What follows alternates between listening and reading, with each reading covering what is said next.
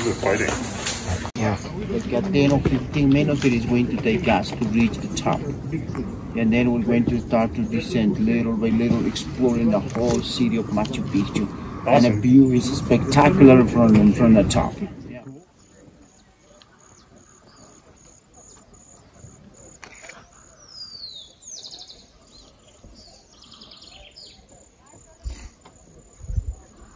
We call Veronica, Huayna Wilca Sacred Mountain. And then Machu Picchu Mountain is over there. Wow. Putucusi Mountain in front of us. This Machu Picchu city is just surrounded by beautiful.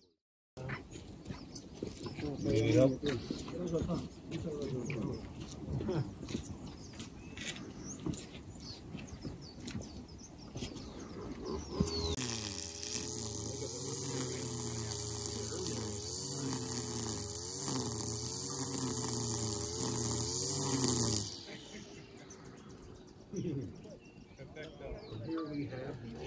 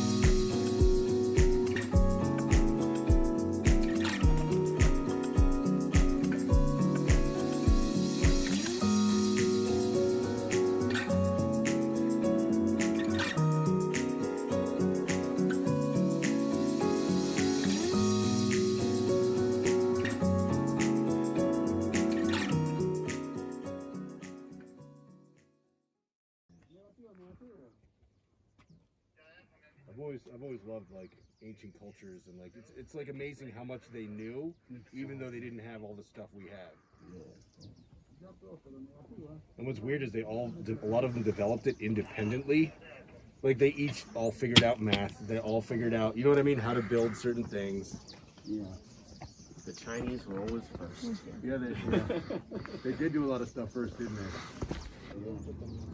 This is the, the important part of Machu Picchu. We have here the Temple of the Sun, Temple of the Wind, Temple of the Water. Under the Temple of the Sun, we have a huge cave. This is a cave. That's the Temple of Pachamama, Mother Earth. Yeah, wow. And uh, important people house. Look at the palace. Then in Quechua and Incan over there. You see the type of architecture is final construction down there. That is going to be the king or important person who used to live over there. Yeah. And the terraces, beautiful terraces on the other side, the agriculture terraces and the llamas and the llamas we, we see over there. My brothers, engineers, they came over here and they tried to rebuild that place also. But I'm sure it is going to be very hard to rebuild this construction because they need to move everything from the bottom. Yeah. So what happened over here is three routes expanded the construction ah. because this place was wow. This almost looks like something they would sacrifice on. It is, this is a sacrificial stone. How about it? Nail it. One, two, three. At the same time, always number three levels means for the three different worlds.